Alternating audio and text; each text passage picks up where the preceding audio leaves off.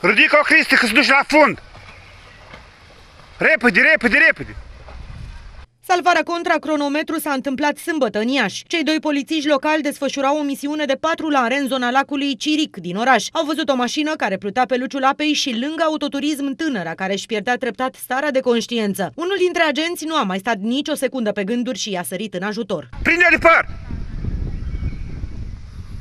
Oamenii legii au înțeles că doar de ei depinde viața femeii. Agentul a reușit să o scoată la suprafață. Au urmat alte clipe critice. Respirați, respirați!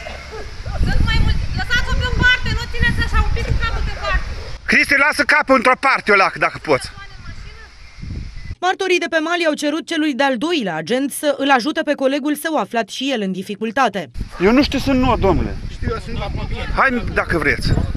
Unul dintre bărbații care au asistat la eveniment i-a sărit în ajutor polițistului din apă. Sunați dumneavoastră, vă rog frumos, la 1 Într-un final, femeia de 27 de ani a fost scoasă la mal în siguranță. Marele a fost surprinderea polițiștilor să constate că tânăra era băută. Reprezentanții Inspectoratului de Poliție din Iași au precizat că după ce a primit îngrijirile necesare a fost audiată și s-a decis reținerea ei pentru 24 de ore.